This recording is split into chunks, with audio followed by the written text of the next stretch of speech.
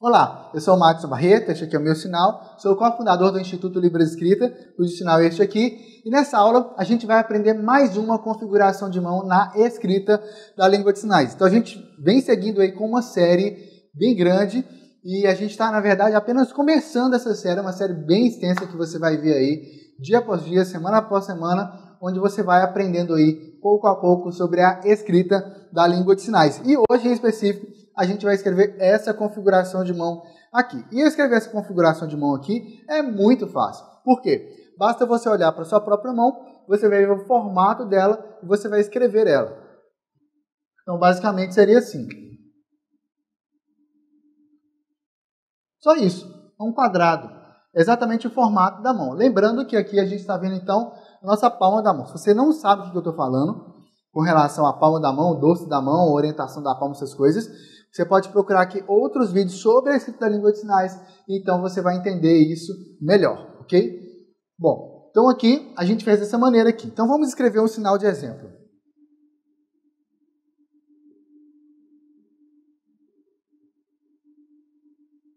Lembrando que a ponta de seta preta indica que é o movimento da mão direita, mas a gente vai ver isso com mais detalhes à frente. Então aqui nós temos escrito este sinal. Mas espera aí, a gente escreveu somente esse lado aqui, certo? Como esse movimento, esse, essa mesma é, parte aqui, ou seja, configuração de mão, orientação da palma e o movimento se repetem do lado de cá, então a gente vai usar esse grafema aqui de simultâneo. A gente vai ver muito sobre ele aqui nas aulas e mais à frente a gente vai explicar mais detalhes sobre os usos e não usos desse grafema. Então aqui indica que foi espelhado. Então, a gente vai fazer o sinal dessa forma aqui, o sinal de Carro, isso mesmo.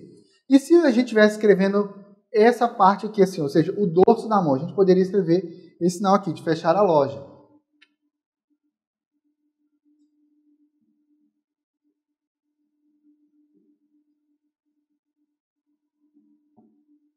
Novamente a gente vai escrever.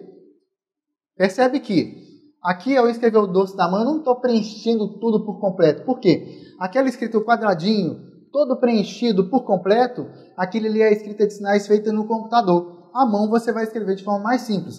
Assim como no português também, em qualquer outra língua, tem a escrita do computador e a escrita à mão, ok? Então aqui seria a escrita à mão, a escrita cursiva, vamos dizer assim. Aqui a gente tem então esse movimento que foi feito, só que aqui novamente aparece esse grafema indicando que são as duas mãos fazendo o sinal, ok? Vamos escrever agora um outro sinal.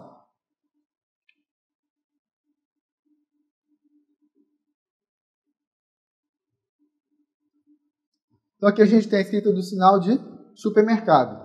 Alguns lugares fazem assim, outros lugares fazem com essa configuração de mão, mas isso aí na verdade não vai influenciar no significado do sinal. Se a gente fosse fazer a escrita completa, ou seja, sem usar esse grafema de simultâneo, ficaria assim.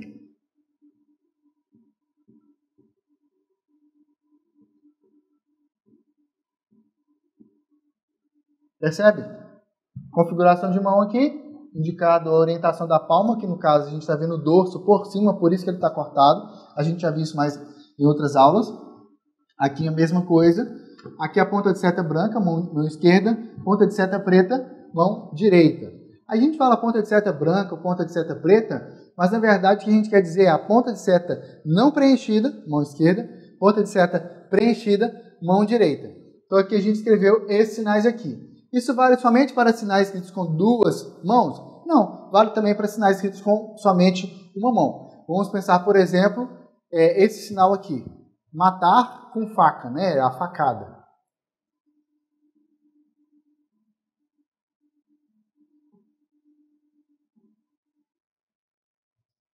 Então, matar com faca. No caso, somente uma facada já matou.